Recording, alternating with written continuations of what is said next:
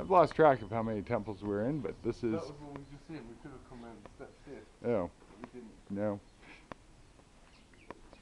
I think we got the best part of that temple, and I'm wondering if this is somebody's house because they had laundry here. No, lovely cool statues over here. Ah. Can't be full house. Well, they may live inside one of these buffalo.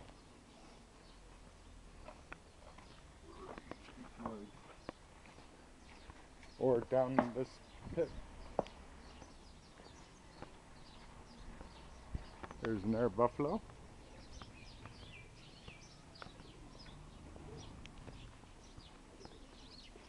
It'd be kind of cool to have, uh, you know, if you're a Hindu, to have your own kind of old, cool shrine in your next to your house, because if nothing else, you don't have to go far for church. Namaste. Namaste.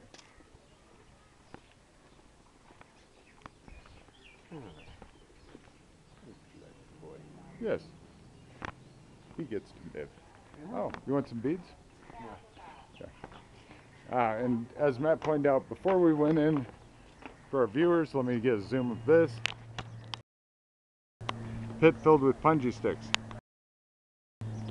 Okay. So there you go. We move along toward the bridge of eternal peril.